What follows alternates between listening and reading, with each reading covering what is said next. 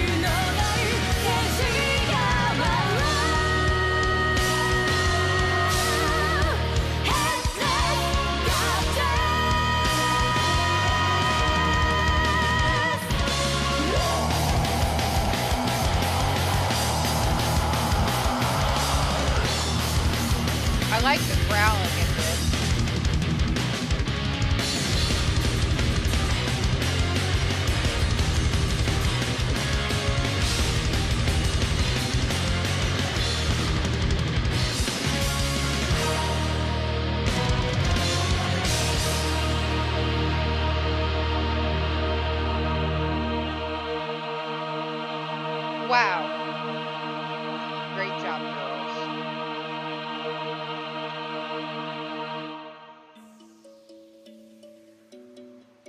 I'm impressed, you guys. Like, I wasn't really sure where that'd go, but, you know, that was really good. I want to start off that I noticed they only have 51,000 views at the time I'm watching this, and that's pretty surprising for their music. So I'm hoping that anyone watching my video right now that has never heard of them goes and checks them out because they deserve the views, the subs, and everything. I can't believe they only have 4,000. So I am subscribing right now, and I hope you guys go over there right now and subscribe, watch this video, and show them some support. Now let's move on to the fact that I love their style. I love that steampunk look. That was really cool. Uh, I like how they all looked. I love the way they played all their own instruments, sung, danced. I love the growling. I'm always surprised by heavy metal all female groups. So when I see someone suggest one, I'm like, let's get into it. Let's see what they have. Let's hear it. You typically wouldn't think of an all female band when you think heavy metal, but I think this just goes to show if you got the talent, you got the talent. And they have the talent. So they have a 2019 tour. That's pretty cool. So if anyone's interested in anything of theirs, check the description. I'm going to have it all listed down below. Go subscribe to them. Go like their video. Go check it out. You know, see what else they have because they did really good. I really like that. I'm glad you suggested that, Thomas, because, uh, you know, I'm just surprised. I really am. And I'm glad I know who they are now because now I can check them out. And I'm hoping, you know, I'm going to hear more by them. I don't know, but hopefully we can always see. What did you guys think? What was your favorite part? Because I'd like to know. Tell me down in the comments what you like best about the video. But I'm glad you guys were here to watch this video with me, and I can't wait to see you next time. Bye.